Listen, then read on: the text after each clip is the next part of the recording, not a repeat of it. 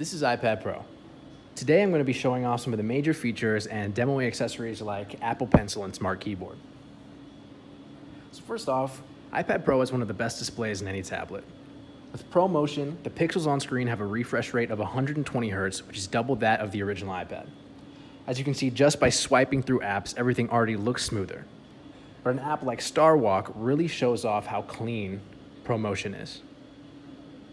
Now, with iOS 11 and the A10X Fusion processor, we can engage in things like multitasking. Just swipe up from the bottom, we get access to our dock. On the left side, we have my customizable row of apps, and on the right side, we have the apps that we used the most recently or maybe the most frequently. So let's say I want to open Safari. I'm just going to drag right here. Then I can enter split screen so I can decide where I want each app to be placed on screen and how much of it I want to see. So for now, let's keep it in the middle. And let's say I want to replace Star Walk with Notes. I'm just going to drag from the dock, release, and there we go. So let's say I want to find a picture on Google of a pirate ship. Can drag and drop, hold it here, and bring it into Notes just like that. If I'm bored, maybe want something to wake up with, I can start watching my favorite TV show, and it won't harm my workflow. I can just minimize right here, change the size, and then get back to work. Now, to show off the Apple Pencil, I'm going to move over to the 12.9 inch iPad Pro so we can make use of that extra screen. So here I am with the 12.9 inch iPad Pro. I can take Apple Pencil, uncap it to reveal lightning connector, and pair it with my iPad just by sticking it into the lightning port at the bottom. This also serves as the charging method a 15 second charge gives you about 30 minutes of battery life. Think of it like sharpening a pencil.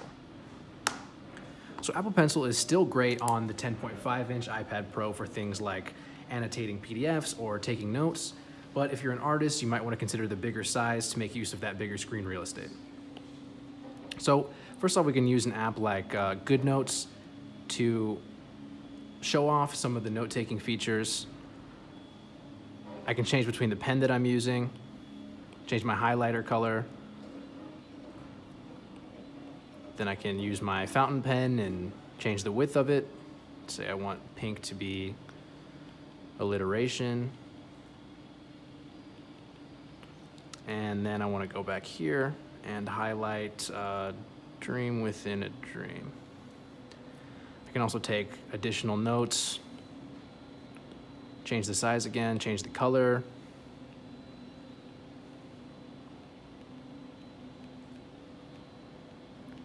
If I don't like that, I can undo, or I can just erase it. And I can also use this lasso tool right here to change the placement of some of the notes that I've taken. Now, we can also unleash our creativity with apps like Procreate that let us draw or manipulate photos, for instance. So let's say I want a brush, change the size, pick a color and start adding onto his beard. I can also, in Procreate, for example, import photos that I found online or from my camera roll and add those into the picture, use it as a color palette, so on and so forth. There's a lot to explore with this app.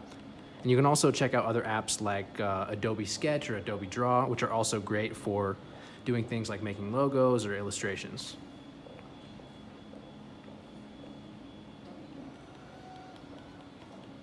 So that's all for Apple Pencil. With the Smart Connector exclusive to the iPad Pro lineup, you can make iPad even more productive with accessories like Smart Keyboard.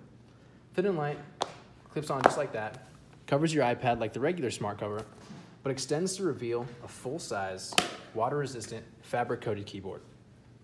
You can do this to take notes, or go to your favorite website.